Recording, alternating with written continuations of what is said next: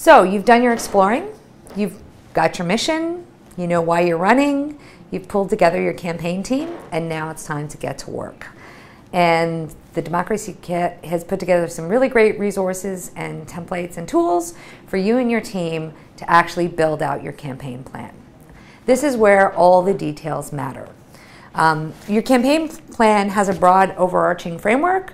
Um, you can do it a lot of different ways. Sometimes it starts as a little scribble in your notebook.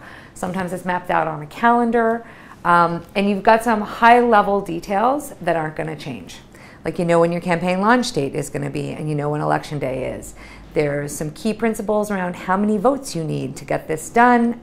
And then you're going to use that as a guide to figure out how much money you have to spend on different activities when and when your key things are going to happen. They might be events, they might be pieces of literature you're going to drop, they could be announcements.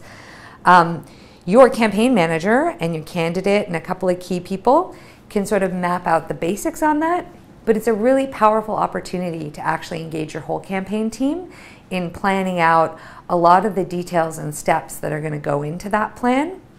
And it's the best way for everyone on your team to contribute their ideas and their strengths um, to building out the best campaign possible to make sure you win on election day.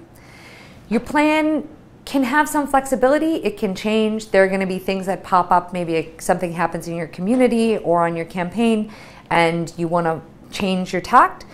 The team can come back together and revisit that. Um, but it, you really do need a plan to keep you on track, to get you to E Day, and to make sure that you're on budget and on time with your deliverables. So, good luck with your planning.